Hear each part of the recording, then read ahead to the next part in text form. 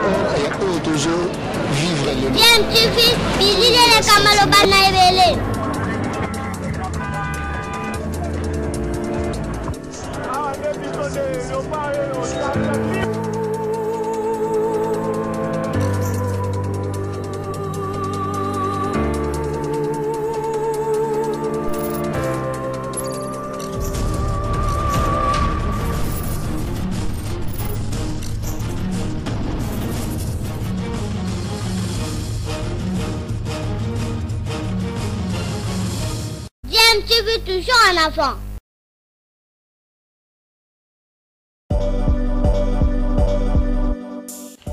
Vous êtes sur DMTV, bonjour ou bonsoir, tout dépend de l'heure à laquelle vous nous suivez. Tout plaisir est pour nous de vous retrouver, mais surtout de savoir que vous êtes nombreux en train de suivre votre chaîne YouTube DMTV. DMTV qui vous propose l'actualité, vous propose également des analyses et des réflexions sur des sujets d'actualité, sur des faits sociaux, tout simplement sur des réalités que nous observons ici chez nous en République démocratique du Congo. Bah, aussi voter, je crois que relais là-bas. hein?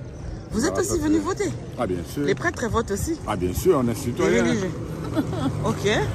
Mais, mais euh, comment vous avez euh, des- les premières impressions que vous avez de l'organisation? Pas de commentaire. On fera un premier, un premier communiqué vers 10 heures. On est en train de recevoir euh, les informations de, de nos points focaux. euh, voilà. Vous êtes arrivé ici à quelle heure? Non, non, je viens d'arriver. À peine. Oui. Vous connaissez où vous allez voter Pas encore, je, je dois me débrouiller. Alors, et si vous ne votez pas d'ici une heure, vous, vous attendrez ou vous partirez Non, non, je n'attendrai pas, je reviendrai peut-être plus tard. Vous vous donnez combien de temps pour... euh, Je ne sais pas, je vais apprécier. Parfait. Merci.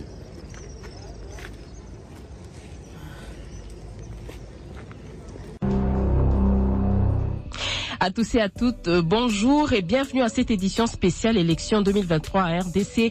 Les Congolais se rendent aux urnes ce mercredi pour la quatrième fois depuis l'avènement de l'ère démocratique pour élire un président de la République pour un mandat de cinq ans, scrutin couplé avec celui des députés nationaux et provinciaux et pour la toute première fois euh, celle des conseillers municipaux. Et dans la soirée d'hier à l'occasion de ces élections, le président de la commission électorale a déclaré, je le cite, les élections sont un moment de communion et de vérité, mais une vérité que nous devons vivre ensemble. Denis Kadima appelle particulièrement les candidats à faire confiance à la CENI, car les résultats qui seront publiés seront ceux exprimés réellement aux urnes. Tout en remerciant l'appui notamment du gouvernement et de la MONUSCO, le président de la centrale électorale reconnaît tout de même les défis logistiques que connaît son institution dans l'organisation de ces scrutins. Denis Kadima, président de la CENI, dans cet extrait que nous propose Grâce Amzati.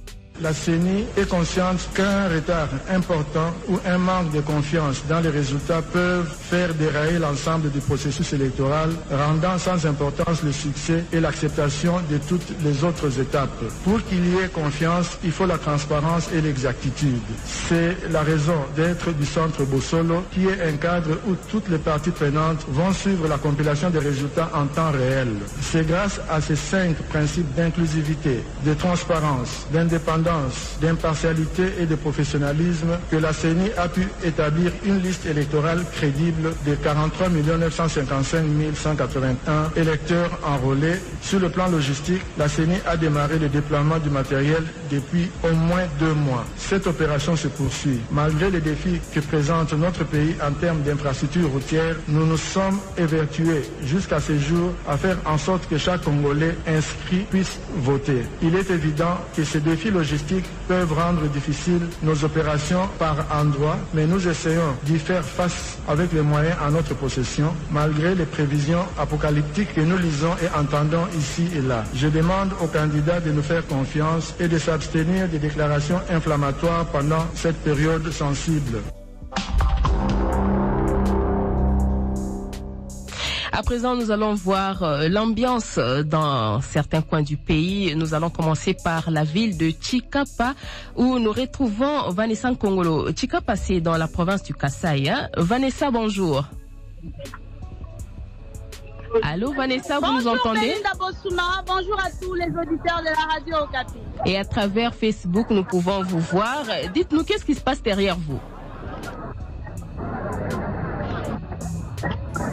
Allô? Allô, Vanessa? Oui, Belinda. Euh, Euh, Dites-nous. Vous Voilà. pas?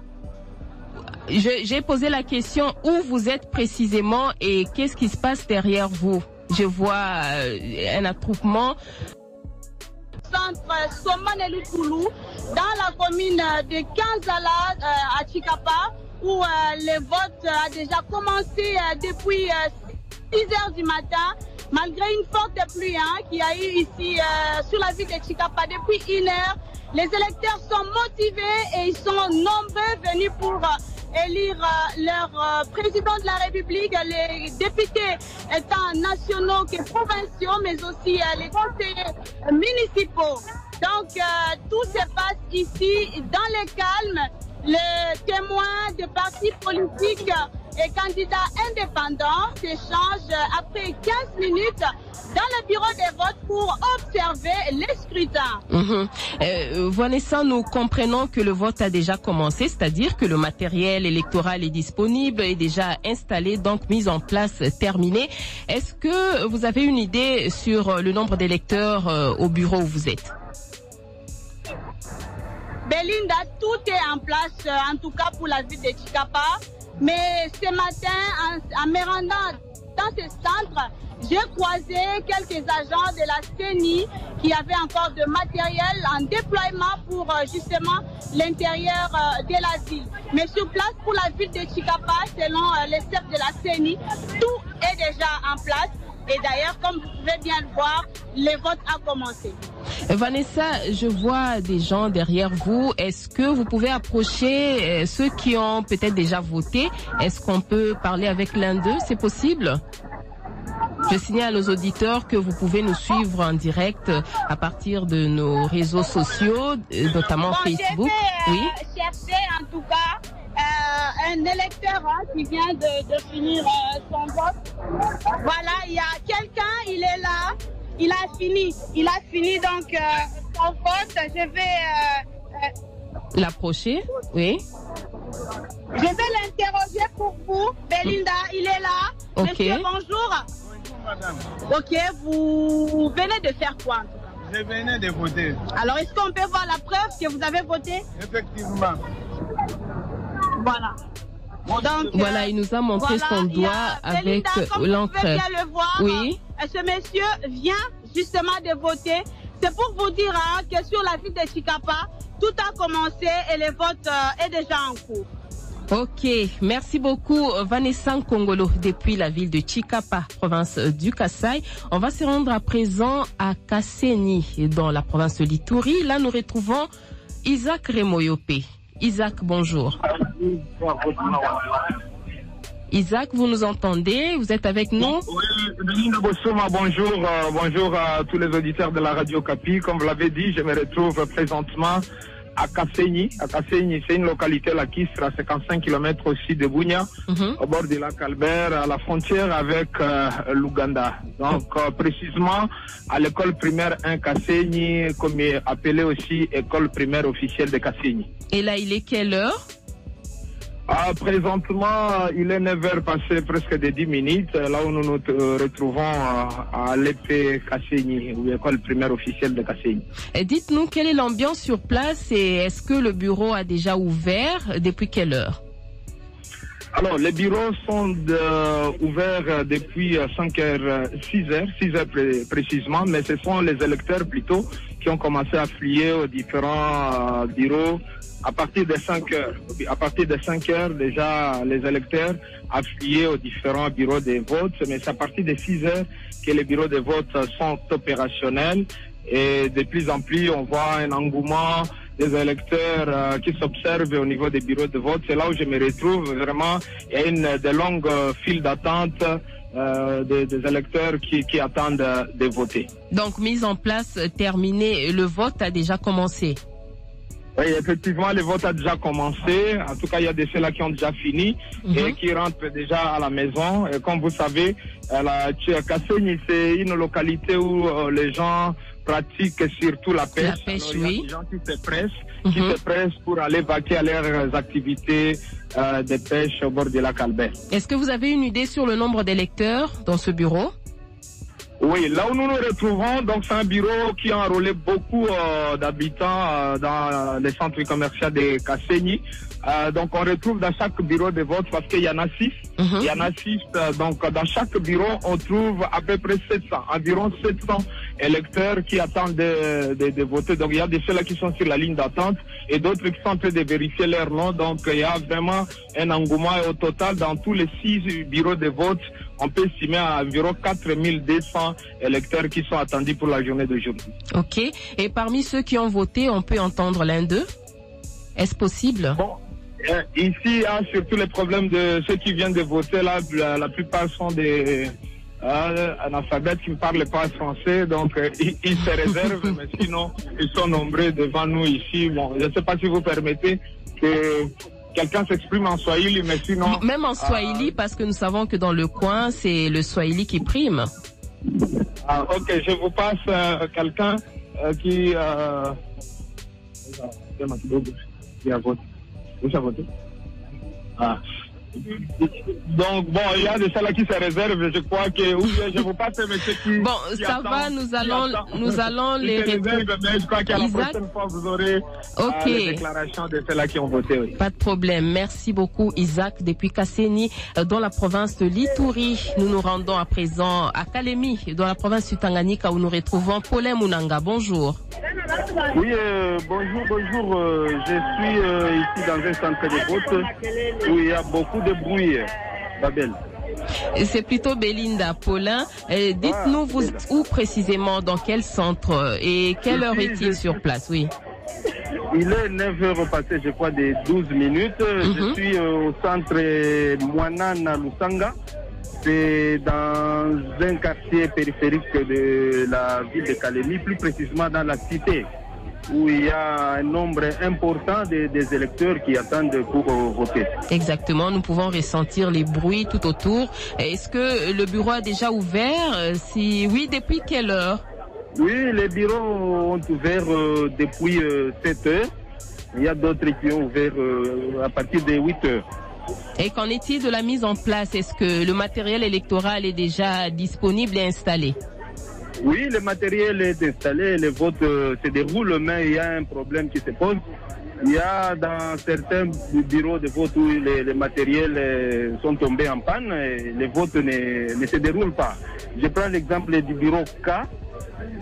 Ok. Euh, il y a cinq matériels sur 11 qui sont déjà tombés en panne. Oh là là. Je prends l'exemple du bureau K, Mhm. où il y a 491 votants. Mais la machine qui est là, il y a une machine mais qui ne fonctionne pas. Depuis, lors- depuis qu'on a ouvert le, le bureau, la machine ne, ne fonctionne pas.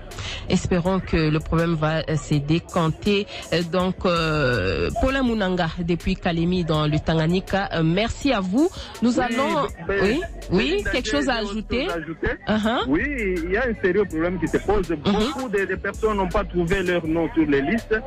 Alors, euh, ils se plaignent. J'ai- quelqu'un qui, qui voulait intervenir euh, à ce sujet-là. Un votant. Merci Paulin Munanga. Espérons que, en tout cas, le problème sera euh, la- une solution euh, sera trouvée à tous ces problèmes qui se posent là où vous vous trouvez à Kalemi, euh, dans la province du Tanganyika. Nous allons nous rendre à présent à Matadi. À Matadi, nous retrouvons Nana plus riche Mambou. Nana, bonjour. Bonjour Belinda Bosuma. Et dites-nous, vous êtes où précisément? Je suis à l'épée Kiabilois dans la commune de Mbouzi. Et est-ce que quelle est l'ambiance sur place? Est-ce que le bureau a déjà ouvert? En tout cas, les bureaux ont ouvert depuis 6 heures et les électeurs sont au rendez-vous. Ils sont nombreux et tous les bureaux sont ouverts et jusque-là, tout marche comme sur des roulettes. Ok, donc le vote a déjà commencé. En tout cas, le vote a commencé. Est-ce que après l'ouverture des bureaux. Hein. Mhm. Est-ce que euh, vous avez une idée sur le nombre d'électeurs là où vous êtes? Le nombre d'électeurs qui sont attendus dans ce bureau? Le nombre d'électeurs, nous n'avons aucune idée parce que le chef de centre dit n'avoir reçu, dit n'a pas avoir reçu le quitus de, de Madame Le Cep pour intervenir et faire des déclarations dans les médias. Donc il n'a pas voulu nous révéler le nombre de- de- d'électeurs attendus dans le centre où je suis, je me trouve actuellement. Mhm. Donc euh, on n'a aucune idée sur le nombre d'électeurs, mais sinon, ils sont là. Ils sont là et certains ont déjà voté. Est-ce que nous pouvons entendre l'un d'eux? L'un d'eux, Mhm. oui, quelqu'un qui a déjà voté, il est devant moi. Bonjour, messieurs. Bonjour, Vous êtes en direct sur la radio Capi. Vous avez voté, comment ça s'est passé? Est-ce que vous avez eu des difficultés? Non, ça évolue bien. Moi, je, moi c'est Alpha Chamala. Ici, je viens à peine même de voter. Ça évolue bien. Nous tous, nous sommes au milieu du calme ici, ça va. Ça se passe bien, il n'y a pas de problème de machines comme dans d'autres coins du pays? Bon, sauf dans quelques centres, euh, deux ou trois, il y a un peu de lenteur, mais ça évolue bien. Nous tous, nous évoluons bien. D'accord. Euh, merci, monsieur Alpha. Euh, merci également à Nana Plurish Mambou qui intervenait depuis Matadi au Congo central. On va à présent se rendre dans la province de la Chopo, euh, précisément à Kisangani, où nous retrouvons Jacques Moukonkole. Bonjour, Jacques. Bonjour. Jacques, vous êtes où précisément? Pour l'instant, je suis au centre islamique euh, Nourou, et au centre-ville de Kisangani. Est-ce que les bureaux ont déjà ouvert sur place? Oui, le bureau ici est ouvert depuis 6 heures du matin, selon ce que m'a laissé entendre un de chefs de euh, bureau de vote euh, que j'ai trouvé sur place. Tout se déroule euh, normalement. On prend un groupe de 5, on vérifie euh, la carte euh, sur la, la liste des électeurs avant de vous donner le bulletin de vote les glisser dans l'urne. Les électeurs sont donc au rendez-vous. Euh, Quelle est l'ambiance qui règne sur place? Oui, euh, c'est une ambiance euh, presque de fête. En tout cas, tout le monde qu'on rencontre ici dit être venu euh, voter euh, dans tout enthousiasme. Le, le petit problème qu'on a constaté, c'est qu'il y a certains électeurs qui n'arrivent pas à retrouver les noms sur euh, les La listes liste. euh, des votes. Ils sont obligés de se balader de gauche à droite en train de chercher euh, les noms hein, quelque part. C'est le petit problème.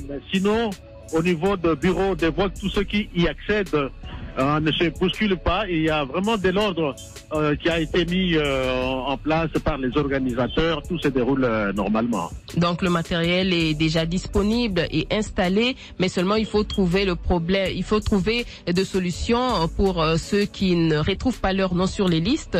Et j'espère que les responsables de la CENI qui sont sur place pourront trouver une solution. Est-ce que vous connaissez le nombre d'électeurs qui sont attendus dans ce bureau? Euh, en moyenne, parce que j'ai sillonné beaucoup de bureaux au niveau de, du centre de l'ISP Kisangani, au centre islamique Nourou. En tout cas, le nombre d'électeurs par bureau, en tout cas, on peut prendre la moyenne de 600. Il y en a au- à 680, un peu plus, euh, ou encore environ 700, 560, 580. Donc, on peut prendre une moyenne de 600 électeurs par bureau. Et on me dit, on me dit entendre que, euh, en tout cas, tout le monde pourra voter d'ici 17 heures, heure euh, fixée pour la clôture, pour la fermeture des bureaux. Oui, Jacques, avant de clore, est-ce que nous pouvons écouter l'un des électeurs? Bon, c'est lui qui a déjà voté. C'est possible? Euh, celui qui a déjà voté, laisse-moi quelques minutes. Et qui a voté? Déjà voté, pas encore. Qui a, qui a voté ici? Voilà. Il y a quelqu'un qui a déjà voté, c'est Radio Capi, hein Alors, ce monsieur Albert Osembe. Alors, ce monsieur Albert Osembe, grâce, est-ce que vous pouvez euh, lui parler, lui poser peut-être quelques questions? Monsieur Albert, vous êtes en direct Radio Capi et dites-nous comment ça s'est passé? Vous venez de voter? Ok, depuis le matin, il y a encore moi vraiment, les votes passent calmement, sans tracasserie, sans bruit. On vote calmement l'une après l'autre, l'une après l'autre. Chacun est libre de choisir son candidat. Vraiment, nous sommes ici en ville, euh, à la salle de l'ISP, avec beaucoup de gens qui votent depuis le matin que nous sommes là. Ça passe calmement. Merci beaucoup, Monsieur Albert. Euh, vous êtes avec Jacques Moukonkole, notre correspondant de Kisangani dans la province de la Chopo. On va quitter Kisangani pour retourner dans la capitale Kinshasa. Nous sommes dans le district de la Tchangou où nous retrouvons Jean-Pierre Elali Koko. Bonjour. Bonjour Belinda et bonjour à tous les auditeurs de Radio Capi. Dites-nous où êtes-vous précisément? Oui, Belinda, je suis euh, au centre épée Makanza, dans la commune de Lancélé, et Mhm. exactement euh, non loin de la commune, donc de la maison communale de, de, de Lancélé. Euh, Quelle est l'ambiance sur place? Est-ce que le bureau a déjà ouvert? Oui, le bureau a déjà ouvert euh, depuis euh, 6 heures du matin et il y a beaucoup de- d'engouement, euh, il faut le dire. Euh, Il y a beaucoup de gens ici et beaucoup d'électeurs, mais euh, il y a aussi beaucoup d'observateurs euh, et de témoins que Mhm. j'ai rencontrés ici. Alors, euh, tout se passe normalement bien. Donc le matériel est là sur place, déjà installé. Et est-ce que le vote a commencé? Oui, effectivement, le vote a commencé et selon euh, Madame I- Irumbu Anne, qui est chef du centre, il y a au moins euh, 3000 électeurs qui sont attendus ici dans ce centre de, de l'épée Makanza, dans la commune de Lancélé. Ok, merci à vous, Jean-Pierre Elali Koko qui intervenait depuis le district de la Tchangou, ici à Kinshasa. Voilà, euh, Blaise Shindani Kambala, nous allons rejoindre qui à présent? Je pense à Bandundouville. Est-ce que nous sommes à Bandundouville Euh, Irène Boma, bonjour. Oui, bonjour, nous sommes à musée, bien sûr. Euh, Dites-nous, vous êtes où précisément? Précisément, je suis au centre de vote du lycée Matondo, situé dans la commune de Bastoko à Bandung. Et là, le bureau a déjà ouvert. Depuis quelle heure? Oui, les bureaux sont ouverts depuis 6 heures du matin et tout est mis en place, les machines sont là, installées. Il y a tout un monde ici vraiment. Un engouement, les nombreux. Oui, un engouement vraiment. Les observateurs sont présents, euh, les témoins des partis politiques, il y a la presse et le vote a déjà commencé. Hein. Ah. Il y a quelques personnes qui ont déjà voté. Ok. Et, oui. Et parmi ceux qui ont déjà voté, est-ce qu'on peut entendre l'un d'eux? Ah, l'un des, euh, laissez-moi chercher, apparemment, ceux qui ont voté ont déjà quitté les lieux. Là, je suis en train d'attendre que ceux qui sont à l'intérieur puissent, qui sont à l'intérieur puissent sortir afin que je puisse les prendre. Euh, D'accord. Mais est-ce que euh, vous avez constaté euh, des problèmes sur place, par exemple des machines ou bien des électeurs qui ne retrouvent pas leur nom sur les listes? Comme ça se passe euh, dans certains coins du pays. Bon, il y a quelques personnes qui sont mécontents. euh, Pourquoi? notamment les témoins qui sont restés dehors. Ils disent comment ils sauront tout ce qui se passe à l'intérieur des bureaux de vote. Ils sont là en train de se plaindre. Il y a une maman ici. Je ne sais pas si elle peut aussi dire un mot par rapport à ça. Mama koloka oloba likambo namoni bon biso banda tobandi atokoti te. Na kuna eza desordre teyebana te. Batémoin yango eza ndenge nini? Bon betomona solution batémoin yango te. Yango tozodeklare bamisu bakoti bamisu bakota te. Parti na biso mpenza ekoti te La dame est en train de, décrier le désordre qui règne sur place euh, pour ceux qui ne comprennent pas le lingala. Euh, merci Irène Mboma depuis Bandundouville dans la province du Kwilu.